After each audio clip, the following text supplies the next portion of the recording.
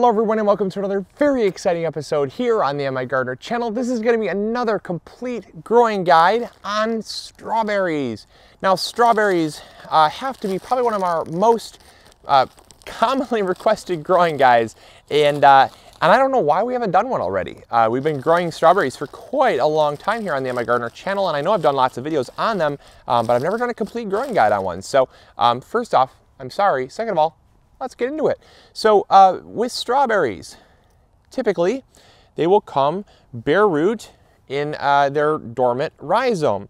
Now strawberries are uh, much like much like asparagus will have a, a, dormant rhizome that they'll send up shoots from.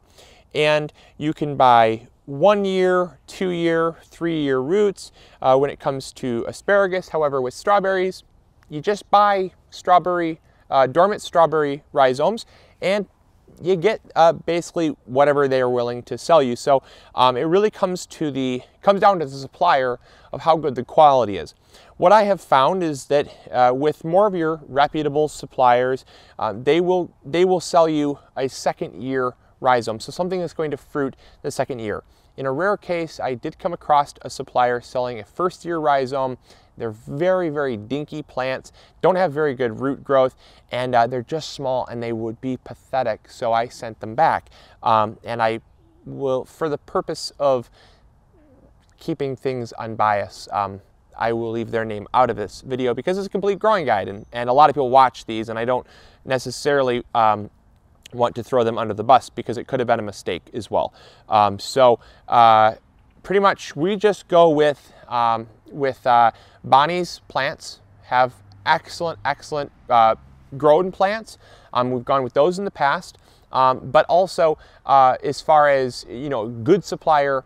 Um, Jung Seeds uh, sells these. That's where we got these dormant ones, and uh, also very, very good. Um, pretty much price-wise is you're going to get about uh, 25 plants for 9.99, and you really can't beat that. So that's a great that's a great deal as well. Um, but but find your supplier that works. Um, you know, check around, check reviews. Certainly, um, everyone has their two cents to put in, and I am. Uh, you know, I'm not I'm not brand loyal to anybody. Um, I just I care for quality, um, and I've had good luck with both of those. So Bonnie's plants, if you want to go with live plants, you can find those at Lowe's and Home Depot, already sprouted um, and kind of in soil, uh, and then um, the dormant ones. Now I do say, typically, uh, well, I mean, this is pretty much a guaranteed thing. Uh, they will be cheaper if you get them from dormant plants than if you get them from, uh, you know, the greenhouse. You'll typically get four to six plants uh, for maybe $4 versus uh, versus 25 plants for 10. So uh, definitely a good deal to go with dormant, um, but dormant you will have some that don't come back. So there's that risk as well involved. Um, now, when you get your dormant plants, you want to make sure that you soak them in water. I just took the whole bag and just dunked it in a big bucket of water overnight. Uh, and, and I let the roots just soak in that water to hydrate the roots. Um, and so that way the, the roots are really well and hydrated and they're going to come out of dormancy uh, more quickly. Um, another thing that you want to make sure of is that there's absolutely no crown rot. Now, crown rot um, would be something that that would occur um, if the if the grower had uh, put the plant had held the plants up too high. Um, I always check for that because it's a it's a mistake that they would make and it's a mistake that uh, shouldn't be your fault. So make sure you check out for that. And one way you can see if they have crown rot is by simply, if, well, if there's green growth, they don't have crown rot. If there's just, uh, if there's nothing coming out like this one right here, I'll give it a squeeze. If the rhizome is firm and there's no white kind of uh, pus coming out, it's not really pus, but um, if it's like a white, like a white goop kind of coming out, you have crown rot. It's quite firm, so it's most likely just a rhizome that has not come out of dormancy yet. But check for that because you shouldn't be buying something that uh, you know is is their fault. It's very common, but you still shouldn't be paying for 25 plants and only get you know only get 22 or 23 plants. Um, so I always check for that. Um, that's the first thing I do when I take them out of the box. I soak them in water. And then what I do is I prepare my soil. to, uh, strawberries are some of your heaviest feeding plants, um, and I almost said tomatoes for some reason because I guess they probably take up about as much nutrients as tomatoes do. Um, I feed them such high nitrogen that uh, pretty much for the first year, I will give them nothing but nitrogen to boost the plant up. I don't worry about flowering, I don't worry about fruit. If they do fruit and flower, that's great, but that's not my objective for the first year. My first my first and foremost objective is to get the plant up to size so that it can fruit heavily the next year. And to, the only way to do that is to give it high nitrogen. We give all of our plants Trifecta Plus and I will feed each plant a quarter cup of trifecta, and that feeds them for the whole season. Let's get back to the bed here. Let's plant them up because there's a very important way you want to plant your crowns so that you don't have crown rot and also so that they can come out of dormancy a little bit better for you. Come on, let's go. All right, so we're going to dig our holes here. We want to space our plants about a foot apart, not super close, but oftentimes I think people give them uh, insane amounts of spacing, and I kind of wonder why, because uh, they do send out runners. Yes, this is true, but the plant itself does not get much bigger than around, you know, uh, probably a foot in diameter. So really by spacing it out 11 to 12 inches, you're gonna be a-okay. So in this bed right here, I'm gonna be able to plant four, four of these plants and um, in this, in a row here. So what you wanna do to eliminate crown rot, so you don't do it, because it is very easy to do, is make sure that you hold the plant when you backfill, because if it goes, if the plant goes way down here in the hole, what you're going to do is you're going to have soil come up onto the crown, and that is what causes crown rot. Uh, strawberries are extremely susceptible.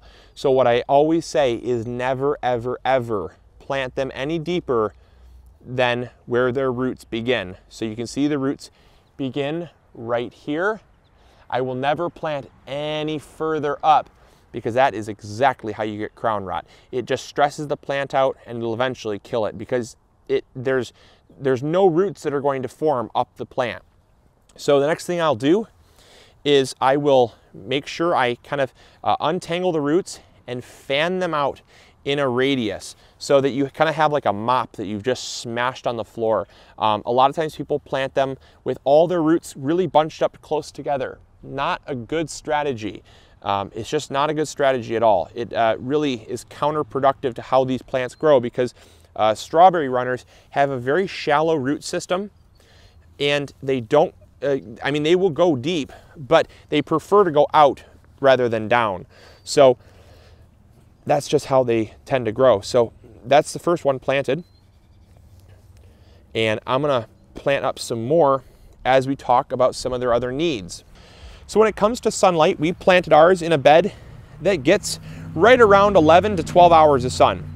I tend to say you can't really give them too much sun um, because strawberries are one of those plants that uh, if you give them too much sun, it would be a miracle. Um, I, I've never, never quite heard of a, uh, a strawberry plant getting too much sun. So um, make sure they get at least five to seven hours and, and they'll do great. Um, now, as far as soil type goes, they love, because they're very, very hungry plants, they love a very nutrient dense, rich in organic matter soil. This also means that it's well draining so that they so the roots can spread out very quickly. Um, and uh, and you know what? I'm actually going to be able to only get three plants in here. I don't know what I was thinking. So um, I'm going to get three plants in a row here uh, instead of four. So um, ignore my last comment about planting four plants in a row. Um, so uh, yep. So we're gonna get we're gonna get three plants in a row here, and that's gonna be totally fine. And so uh, the soil, just make sure it's really loose, really well draining, that we uh, don't have any, any root rot or anything like that because they are very susceptible to rot. Um, and then also make sure that uh, it is a pH of seven. You don't want very acidic soil. You don't want very alkaline soil.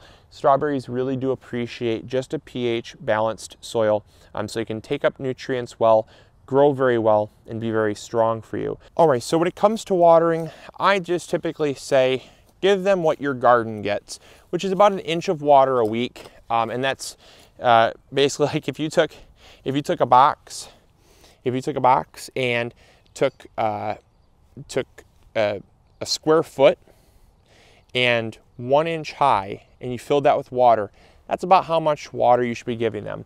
And so a 12 inch, 12 inch square by 12 inch square by one inch high should hold right around a half gallon to, uh, to three quarters of a gallon of water. And so um, that's about how much I give them a week. And they're really not super particular because they're they're quite hardy when it comes to uh, to drought tolerance, but they also don't want to dry out either because you'll find that your your berries, if you give them good water, your berries will be nice and shiny. And one way you can tell that they don't have enough water is if your berries have kind of a dull color. Um, if they don't have a good shine to the skin, it means they're dehydrated. Um, and so that's a good rule of thumb to go by is how your berries look. Um, but also it's, it's better to just make sure they have enough water in the beginning than to get your fruit and say, oh, I'm, not, I'm clearly not giving them enough water. Uh, so so I go by that rule of, of an inch of water a week and your, your fruit or your fruit production is going to be far, far superior um, than if you than had you let it dry out. Oftentimes your strawberries in the fall will produce runners, which are additional plants. I always recommend pruning off your runners in the fall. Now, oftentimes people say, well, why, why not prune them off in the spring because they're going to be on the mother plant. They're going to be able to survive through the winter better and, uh, and then fruit in the spring for you. This is true. This is absolutely true. However, you'll find that oftentimes those runners will suck that energy away from the mother plant. And the mother plant will be the plant that dies. And then you'll have just kind of miscellaneous plants that might have survived. Um, I always stress cutting the, the runners in the fall and then transplanting them. And the ones that survive, great, but I guaranteed have a very healthy stock of mother plants that are going to produce year after year and produce uh, very well for me. And finally, the last thing that I want to do is I want to, after three years, replace the strawberries. So that's where I'm going to take those runners, move them over to a new bed and prep the, uh, the kind of the, the next generation of strawberries because after about three or four years, your strawberry production will just drop. It happens. Um, so what you want to do is uh, just kind of keep that in mind and at about two years, three years, start taking your runners to prepare for when you pull these out of the ground. Um, and that way you can always have a very steady production of, of strawberries. So that's all there is to growing strawberries. Um, hopefully you all enjoyed. Hopefully uh, you learned something new. And as always, this is Luke from the MI Gardener channel reminding you to grow big or go home. We'll see you later. Bye.